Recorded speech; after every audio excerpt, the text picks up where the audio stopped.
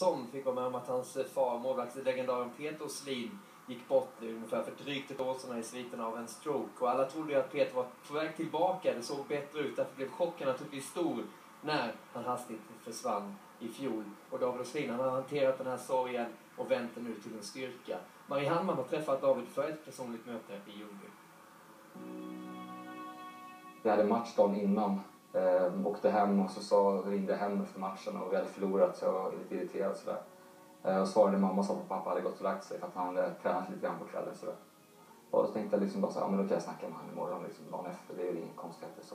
Så pratade vi lite hockey med mamma och sådär. Sen, sen ringde mamma och väckte mig på morgonen dagen efter runt åtta snåret sådär och, och berättade direkt som det var. Och då, äh, det var en otroligt jobbig, jobbig känsla.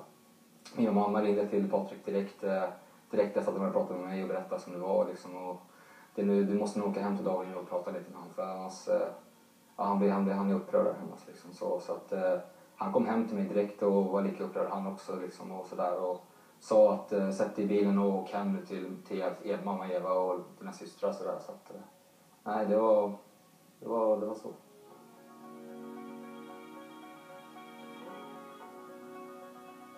Just hockeyn där när jag kom tillbaka var liksom så här, jag var lite borta i matcherna, jag var lite avvaktande och försvann lite grann så, så som jag inte vill försvinna i matcher och sådär. Så att just sådana grejer märkte man av liksom. Och, kollade upp på läktaren, liksom, där satt mamma och mina två systrar och inte min pappa. Liksom, sådär. Så det var liksom just sådana där grejer som var lite tufft. När vände det då? När började du känna att, att det är kul igen? Nej men sen fick jag liksom prata med några personer sådär liksom, och tänkte fan nu måste spotta i nävarna och köra lite här och försöka ta tag i det här nu och sådär liksom. Och, um, jag lyckades vända det och där är vi. Peter hade ju själv velat tror jag att nu sätter vi oss inte på arslet här, nu kör vi, nu får du ta tag i det, för det blir ändå bättre liksom.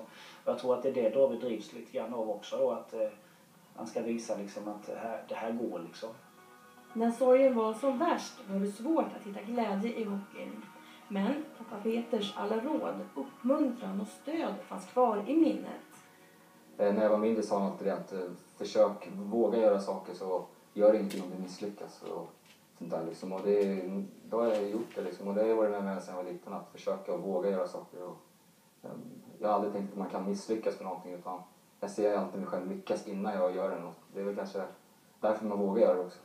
Det låter som han gav dig mycket självförtroende. Ja, det har han verkligen gjort. Han verkligen gjort. Vad var det som gjorde att du ville ha någon här på axeln? Nej, men det var, det var mest att jag sa, jag sa i någon intervju där eh, strax efter att han gick bort att eh, han kommer stärka mig i framtiden och att han kommer alltid få sitta på min axel och berätta, berätta vad jag gör för fel och vad jag gör bra och sådär liksom och försöka få in det i mitt huvud. Och... Vad, vad tänker du på när du ser siffran? Tänker du på hårt jobb eller tänker du på pappa? Eller vad får du för känslor när du ser ja, siffran? Det är lite blandat. Eh, det kan vara allt möjligt faktiskt. Det kan vara glada, roliga minnen som man blir glad av och så ett smile på läpparna. Eller det kan vara, kan vara ett hårt jobb och alltså det kan vara mycket liksom. Och framförallt det som, eh, som stärker mig. Förr ringde han alltid till pappa strax före matcherna.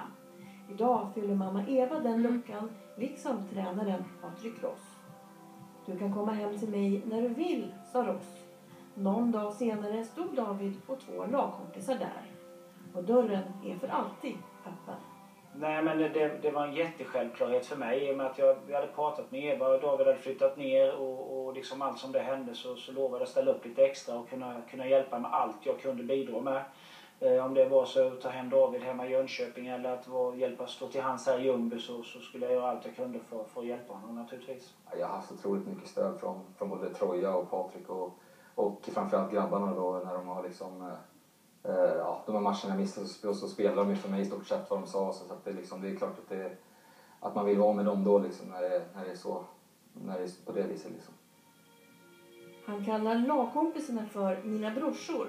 Deras värme och alla roliga stunder ihop har gett David att vända sorgen till styrka. Idag leker hockeylivet.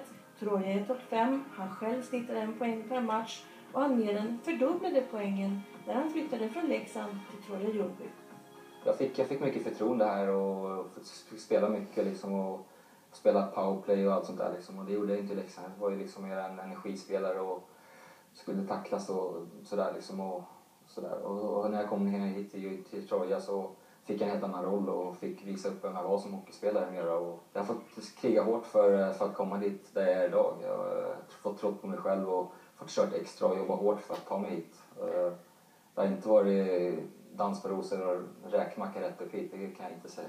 Har du nytta av det nu tror du? Ja, absolut. Det, jag tror att mycket nytta av att fått kriga till mig och få komma hit. Liksom. Och, eh, det, gör mig aldrig, det gör mig aldrig bli nöjd varje dag jag kommer till hallen. Liksom. Och det gäller att slå på den där, det där fighting facet varje dag och det, det har jag lärt mig sedan jag var liten.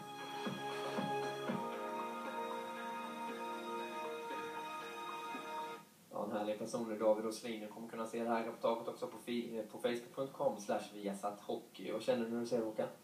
Ja, jag tycker att det David ger en väldigt fin bild av Peter och förhållandet eh, mellan pappa som var en väldigt väletablerad ishockeyspelare och en son som önskar sig och, och kliva vidare i samma riktning. Va? Så att, eh, ja, det visar på en, en bra kärnfamilj som har byggt varandra. Mm. Och vi kommer fortsatt hålla koll på David Åslins framfart naturligtvis i Hockeyallsvenskan.